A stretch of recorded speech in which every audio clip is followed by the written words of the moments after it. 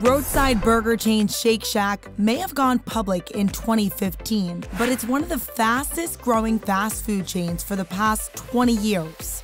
In 2023, Shake Shack generated over $286 million in total revenue. That's up 20% year over year. Let's take a look at the company's biggest moments with Beyond the Ticker. It started as a hot dog cart in 2001, operated by restaurateur Danny Meyer in New York's Madison Square Park.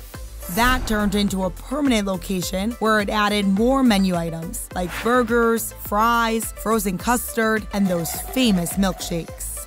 By 2010, two more locations were added in New York one in the Upper West Side, and the second in the home to the New York Mets, Citi Fields. On January 29, 2015, Shake Shack went public via an IPO on the New York Stock Exchange at $21 per share.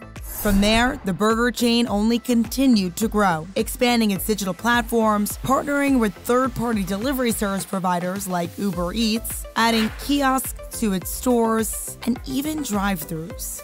This year, at roughly 90 US locations, it'll now be using carbon neutral whole milk after it expanded its partnership with the US based carbon neutral food company, Neutral Foods. In March, the company announced that CEO Randy Garutti would step down after a 20 year run. Rob Lynch, the current CEO of Papa John's, will be named the next CEO effective May 20th, 2024. And Shake Shack continues to make its mark on the fast food, fast casual industry with 530 locations across the globe and growing.